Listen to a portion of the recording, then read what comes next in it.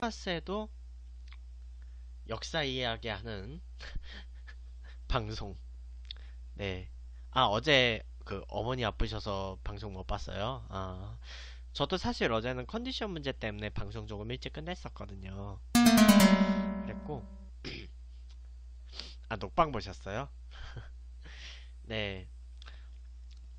이제 크리스마스니까 오늘은 이제 좀 약간 크리스마스와 관련한 좀 이야기를 하려고 해요. 음, 크리스마스가 아 꾸리스마스 그거는 크레용팝 노래 제목이잖아요. 음, 그 노래도 갖고 있는데 크리스마스가 원래는 라틴어에서 나온 말이에요. 그 뭐냐 예수 그리스도의 그리스도하고 그 미사 미사라는 단어에 그 합성어예요. 아 집안일 갔다 오신다고요? 네 다녀오세요. 네. 그래서 예수 그리스도의 탄생을 기념하는 미사가 크리스마스를 이야기하는 거예요. 그래서 이제 가톨릭에서는 한국말로는 예수 성탄 대축일이라고 하죠. 음. 아 물론 이제 가톨릭에서는 이 크리스마스가 가장 큰 대축일은 아니에요. 가장 큰 대축일은 예수 부활 대축일이죠. 성삼일. 근데 그 성삼일은 날짜가 정해져 있질 않아요. 유동적이에요. 어쨌든 근데 대부분의 이 그리스도교 그 종파들이 다 12월 25일을 기념을 하게 돼요. 근데 이제 사실 그 가톨릭 성경을 보면 이 예수 그리스도가 정확히 며칠에 태어났는지는 안 나와 있어요. 저도 성당은 다니지만 이 12월 25일로 맞춰서 기념을 하게 된 이유가 있어요. 음. 일단 확인이 안 되고 그 이제 원래는 그 예수 그리스도가 이제 승천을 한 다음에 그러니까 그 성목요일에 그 파스카라는 그 저녁 식사를 하고 유대인들의 저녁 식사가 있어요 예식이 그런 걸 하고 거기서 이제 성체 성사가 만들어지고 이제 그날 밤에 잡혀서 새벽 동안 뭐 매를 맞으시다가 이제 성 금요일에 십자가를 못 박히, 못 박히세요 그리고 이제 부활 부활을 하시고 승천을 하면서 그 이후 이제 그 사도들을 시작으로 이제 가톨릭이 선교가 되기 시작하거든요. 근데 문제는 그 가톨릭이 선교되기 시작한 시점이 그 로마 제국 제정 시대의 초기예요.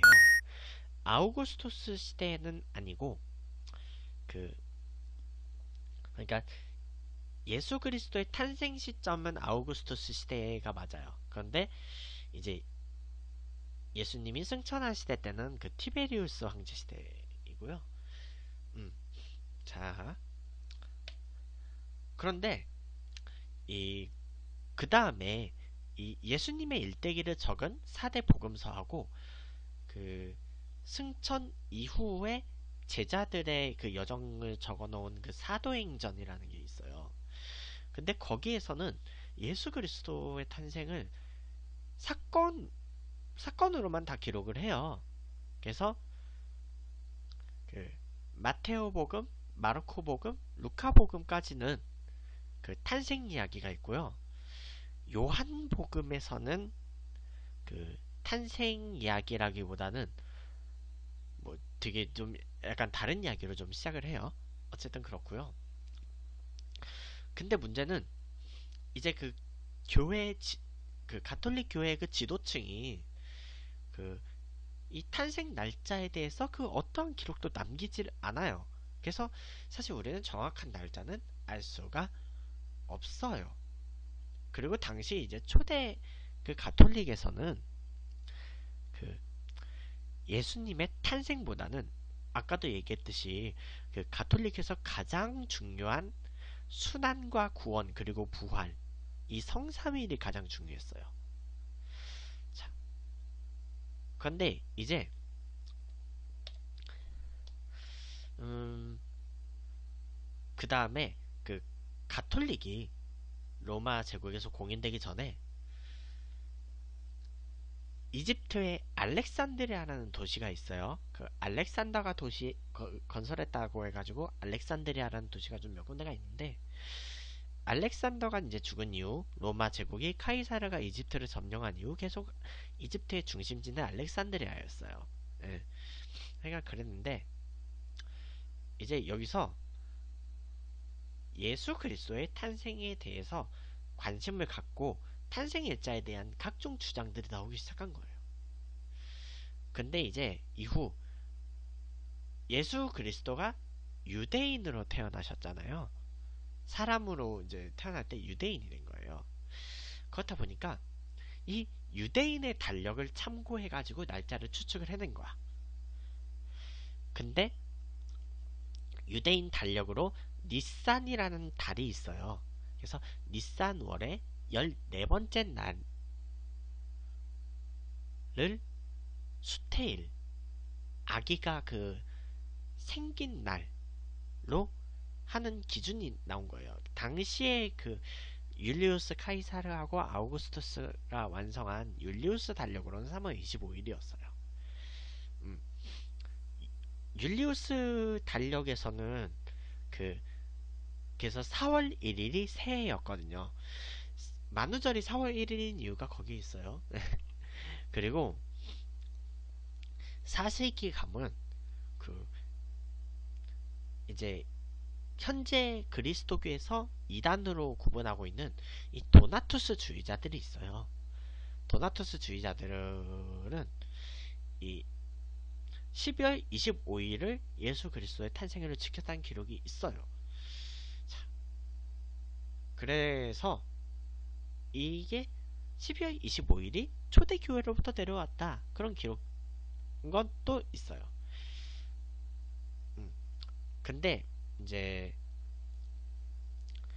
이게 전통이라고 할 수 있기는 해요. 다만 좀 그 뭐냐 40주가 보통 임신이잖아요. 40주가 임신인데 그 좀 약간 그래서 한 9개월 정도로 잡은 거죠. 9개월로 잡았는데 교황 그 율류 1세가 그래서 이제 크리스마스를 선포를 해요. 음, 가톨릭이 공인된 이후. 자, 근데 이 크리스마스가 선포된 시점은 이제 서기 336년부터이고요. 그 당시 로마 제국 그 율리우스 달력 기준으로 12월 25일이었어요. 음, 가톨릭이 그 밀라노 칙령을 공인된 이후부터 이제 크리스마스 축제를 지내기 시작했어요. 음. 그런데 사실 이 예수 그리스도가 탄생하기 이전부터 로마의 그 다신교 종교들 있잖아요. 그리고 이집트도 종교가 있어요. 이집트는 이제 태양신을 섬기죠. 음. 근데 로마도 그렇고 그리스도 그렇고 이집트도 그렇고 이 태양과 관련된 그 이제 신화적인 의미로 12월 25일을 무적의 태양신을 기념하는 축제를 지내요. 그래서 이때가 이제 동지하고 좀 비슷하잖아요. 1년 중 가장 나, 낮이 짧다는. 그래서 근데 그 이후 이제 낮이 조금씩 길어지기 때문에 어둠은 물러나고 빛이 세력을 얻는다. 그래서 생명이 소생해 나갈 수 있음을 기념하기 위해서 이 12월 25일 기념일로 제정을 했다는 거예요. 음. 그런데 왜 이게 12월 25일이 딱히 이제 원래 그 고대 국가들이 다 이날 축제를 지냈단 말이에요. 다 축제를 지냈는데 분명 그 가톨릭에서는 예수 그리스도의 탄생 날짜를 알 수가 없어요. 뭐 유대인들은 뭐 유대인 그 고유의 축제 때 뭐 축제를 지내는 거를 로마에서는 허용을 받았거든요. 왜냐면 로마 자체가 다신교였기 때문에 그리고 로마 같은 경우는 정복된 지역의 그 그런 문화 이런 거를 반란만 안 일으키면 지켜줘요. 음. 지켜주기 때문에 유대인들이 그 뭔가 그 파스카라고 그 6월절, 뭐 과월절, 해방절이라고 뭐 부르는 그런 시기가 있어요. 근데 이제 문제는 그 시기하고 그 예수님의 그 부활 부활 시기하고 딱 겹쳐요. 음, 그게 딱 겹쳐. 그래서 뭐 부활은 괜찮다고 쳐. 근데 이 크리스마스 크리스마스를 지내야 되는데 분명 그리스도교는 박해를 받았단 말이에요. 그러니까 이들은 다 숨어서 모임을 해야 되거든요. 그 지하 뭐 동굴 뭐 이런 이런 데서 지하 방에서 막 그 숨어서 모임을 해야 되니까 근데 그것도 좀 다른 사람들이 뭐 좀 잡으러 다니지 않을 날짜를 골라야 되잖아요. 그러다 보니까 이제 축제 날짜를 골라야 돼. 다른 종교에서 축제를 지내는 날짜를 고를 수밖에 없었어요. 그래서 선택된 날짜가 12월 25일이었던 거예요. 음. 그래서 율리우스 달력을 기준으로 12월 25일을 크리스마스로 지냈는데 문제는 그 다음에 그 동로마 제국을 중심으로 자리 잡고 있던 그리스 정교회가 가톨릭하고 갈라지게 돼요. 그래서 이 동방 정교회 같은 경우는 율리우스 달력을 계속 그 달력으로 쓰고 있기 때문에 그래서 그 우리가 그 러시아 혁명의 그 날짜들 있잖아요. 그 2월 혁명하고 10월 혁명으로 부르는데 러시아 그 율리우스 달력 기준으로 러시아는 정교회거든요. 근데 그게 그레고리우스 달력 기준으로는 3월 혁명하고 11월 혁명이에요. 그래서 약간 달력의 나이 차이가 나고요. 그래서 뭐 그리스라든지 뭐 러시아라든지 뭐 그런 이제 그 정교회 식으로 이 종교를 지내는 나라들은 크리스마스를 율, 그 그레고리우스 달력 기준으로 1월 7일에 기념을 해요. 이제 가톨릭 같은 경우는 그 다음에 이제 중세 시대 때 그 그레고리우스 달력으로 바뀌었거든요. 음. 뭐냐 가톨릭이 1582년부터 그레고리우스 달력을 쓰고 있고 영국 영국 국 성공회에서는 1752년부터 그레고리우스 달력을 채택을 하고 있어요. 자, 근데 음, 약간 그런 서구 문명이 퍼지고 그 크리스마스가 어, 좀 약간 축제 페스티벌 이런 게 좀 되게 많이 활성화가 됐어요. 부처님 오신 날하고는 약간 분위기가 다르죠. 예. 아, 네, 들어가세요. 네, 무리하지 마시고. 예. 그래서, 음, 중국에서도 크리스마스 이벤트를 하고요. 이제, 대한민국에서 크리스마스가 법정 공휴일이 된 것은 1949년부터예요. 그래서 달력에 쓸 수 있는 법정 명, 명칭은 그 기독탄신일이라고 해요. 왜냐면 그리스도라는 단어 고유 명사를 한자로 번역하면 기독이 되거든요. 근데 이제 우리나라는 주로 개신교를 보통 기독교라고 하죠. 음. 그리고 그 관용적으로 근데 성탄절이라는 표현을 쓰고 있어요. 왜냐면 가톨릭에서 예수 성탄 대축일이라는 말을 쓰는 날이 12월 25일 크리스마스거든요. 그리고 이슬람권, 아랍권 국가들은 이 12월 25일이 공휴일이 아니에요. 다만 이쪽 국가들도 그 뭐냐 미사를 하고 출근해라 그렇게 챙겨든 줘요. 음. 그리고 일본이 크리스마스는 공휴일이 아니에요. 일본은 그 아무래도 그런 약간 신사 문화가 있잖아요. 일본은 신사 문화가 있고 또 불교 문화 쪽이에요. 일본은 불교를 이제 우리나라에서 받아, 받아갔죠. 그렇다 보니까 일본이 사실 우리나라보다 가톨릭을 더 빨리 받아들였음에도 불구하고 일본에서는 크리스마스를 공휴일로 지내지 않아요. 왜냐면 믿는 사람들이 별로 없거든. 음. 근데 중국의 경우는요. 그 일부 특별 자치 지역만 공휴일을 지내고 있어요. 홍콩, 마카오 뭐 이런데. 그리고 대만 대만은 크리스마스가 공휴일인 이유가 종교적인 이유가 아니라 정치적인 이유에서 휴일을 지내고 있어요. 대만의 제헌절이 12월 25일이거든요. 음. 대만이.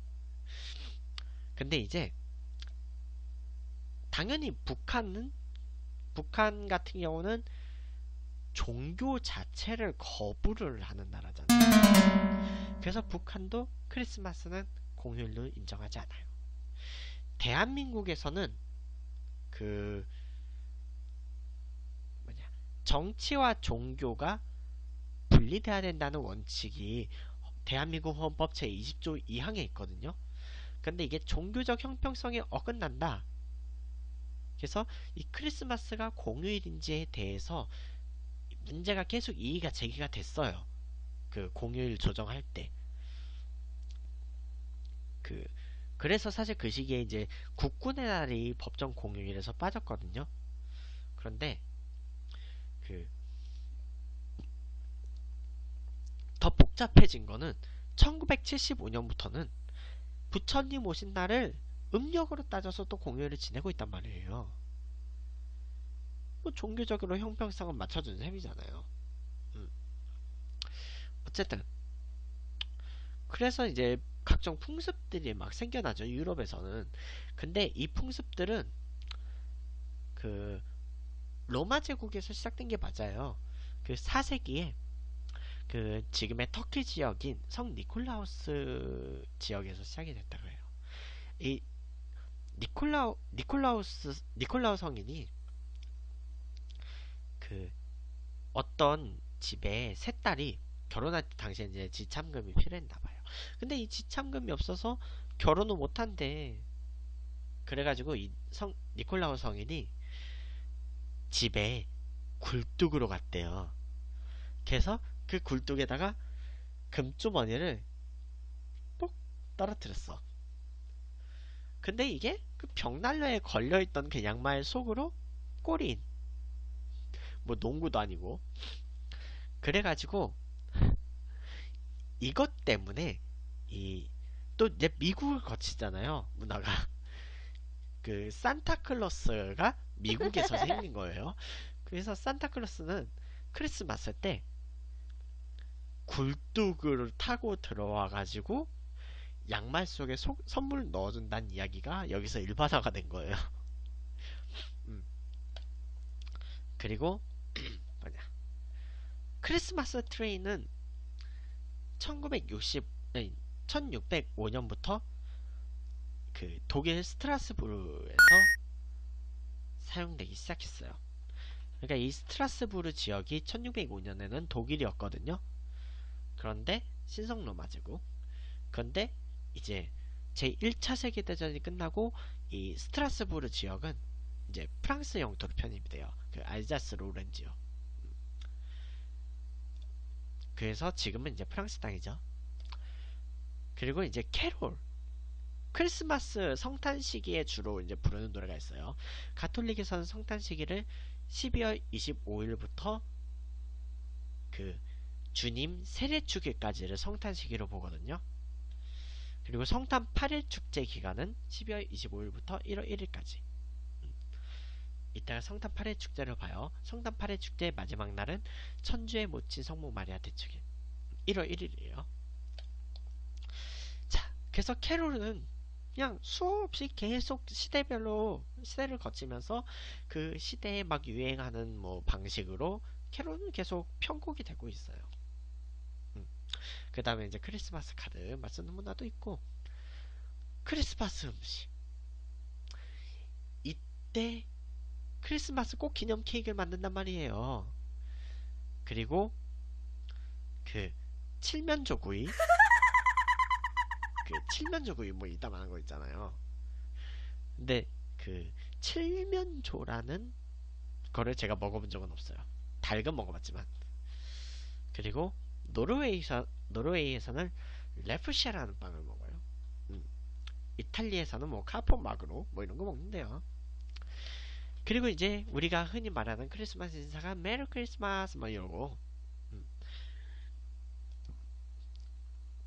관련 영화들이 있어요. 34번 가의 기적, 폴라 익스프레스, 그리고 그 유명한 나홀로 집에 one two three four 그리고 크리스마스 캐롤, 엘프, 러브 액츄얼리, 패밀리맨, 당신이 잠든 사이에 시애틀의 잠 못 이루는 밤 크리스마스에 눈이 내리면 롱키스 굿나잇 키스하고 싶은데 그린치, 밀리언즈, 다이하드 2, 레인디어 게임 그리고 아이즈 와이드 샷, 잭 프로스트 이거는 1998년 버전 그리고 마지막 보이스카우트, 디스 크리스마스 그 All I Want for Christmas 그리고 그렘린, 화이트 크리스마스, 크리스마스 스토리 그리고 그 유명한 월트 디즈니 스크루즈 시리즈 크리스마스 대소동, 팀버튼의 크리스마스 악몽, 로맨틱 홀리데이, 산타는 괴로워, 아벌 크리스마스, 크리스마스 건너뛰기 모임 등등 영화는 굉장히 많아요. 그리고 우리가 제일 많이 기억하고 있는 영화는 바로 그 유명한 케빈이라는 캐릭터가 나오는 나홀로 집에가 있어요. 자, 나홀로 집에 얘기 좀 잠깐 할게요. 1990년대에 만들어진 미국의 코미디 영화이고요. 자, 작가는 존 휴스, 감독은 크리스 컬럼버스. 자, 크리스마스 휴가를 식구들이 프랑스로 가는데 그 케빈이라는 그 대가족 그 남매가 있어요. 막내만 막내만 남는 거야. 혼자 집에 있는 동안 가정 도둑들이 쳐들어와. 근데 그 뭐냐 되게 그 막 전투 지도 막 이런 것도 막 펴고 막 하잖아요. 하여간 되게 웃겨. 응.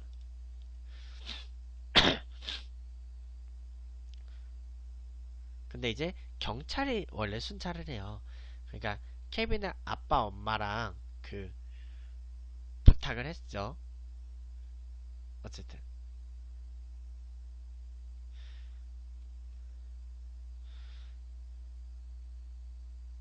하여간 케빈은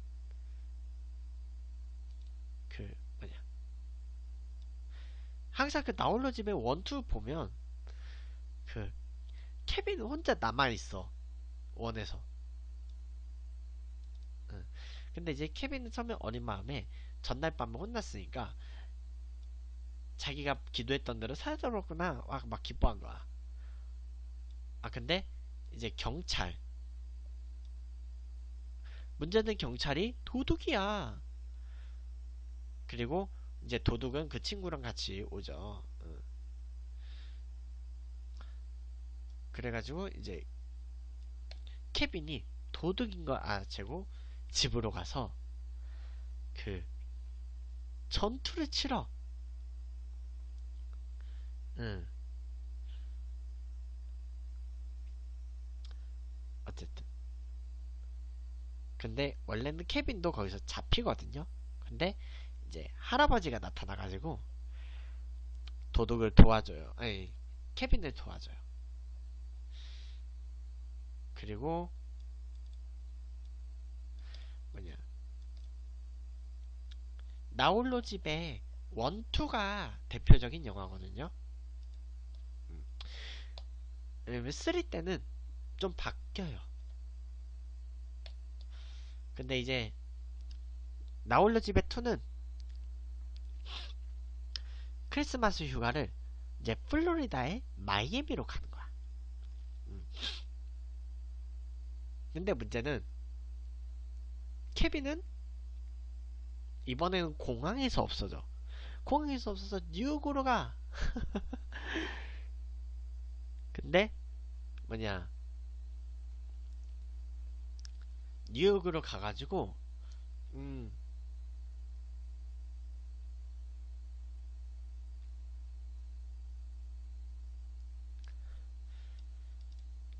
항상 1편하고 2편의 특징은 케빈이 그 크리스마스 직전에 꼭 뭔가 형제들하고 마찰이 붙어요. 그래서 항상 케빈이 혼나. 응.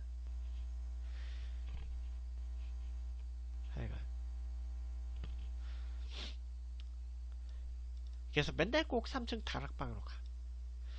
그리고 꼭 그 다음날에 또 늦잠 자. 그래서 막 맨날 그 부금 나오잖아. 막 빠빠라바 빠빠빠빠 빠빠라바 빠빠빠빠 뭐 이거. 그래서 맨날 늦어가지고 그래. 근데 문제는 케빈은 이번에 집에 남은 거는 아니었는데 공항에서 따고 가는 거야. 그리고 같은 코트를 입은 사람을 아빠로 오인하고 따라갔다가 마이애미가 아니라 뉴욕으로 가고 말았어요. 응. 근데 문제는 아빠가 그 케빈한테 자신의 그 카드와 돈이 담겨 있는 가방을 맡겨버린 거예요. 응. 그래서 케빈이 이제 뭐냐 막 호텔 투숙도 하고 돈도 좀 쓰고 응. 어쨌든 근데 케빈이 이번엔 뉴욕에서 그 도둑들을 만나는 거예요.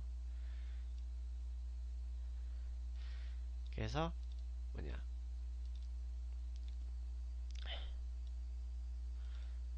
이제 뭐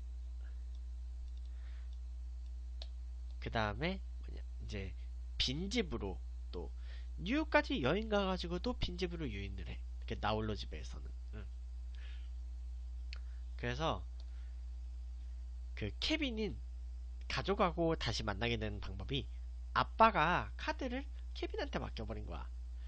그래서 엄마가 그 카드 결제 위치를 딱 추적을 해가지고 만나게 된 거죠. 네, 토마토님 어서 오세요. 음. 어쨌든 그리고 근데 문제는 이 케빈이 그 투숙한 호텔이 뉴욕의 7성급 호텔에다가 케빈이 혼자 낙오돼 있는 동안 쓴 돈이 거의 천 달러가 됐다고 해요. 어쨌든 그래서 우리가 크리스마스 때 보통 솔로들은 케빈하고 논다고 하잖아요. 네, 네 크리스마스 얘기하다가 이제 나 홀로 집에 영, 영화 얘기도 좀 잠깐 했어요. 음. 케빈하고 같이 놀죠. 뭐 요즘 솔로분들은 저는 이제 어차피 또 이제 한 내일 하루에 한 3분의 1 정도를 또 성당에 가 있을 거기 때문에 어, 케빈하고 그렇게 좀 재밌게 놀 일은 없을 것 같고 오늘 혹시 막 그 영화 하나요? 그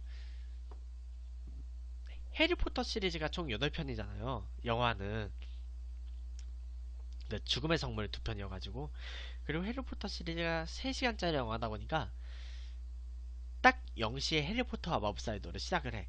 그리고 끝나면 24시야. 해리포터 시리즈.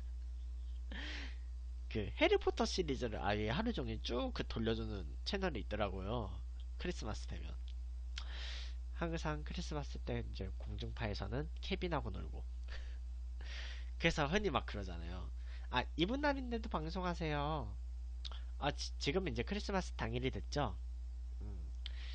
저는 근데 원래 방송할 계획이었어요. 음, 방송할 계획이었고, 뭐, 제가 연애를 쉬거나 그러진 않았는데, 희한하게 꼭 크리스마스일 때만 애인이 없는 거예요. 그러니까 막 연애를 하고 있어도 꼭 다른 시기에 헤어지고 나니까 또 크리스마스에는 혼자야. 계속 막 그 크리스마스에 막 그 혼자 보내고 있는 거예요. 세탁물이랑 씨름하고 왔어요. 존 F 케네디 얘기 잠깐만요. 녹화 종료하고 해줄게요.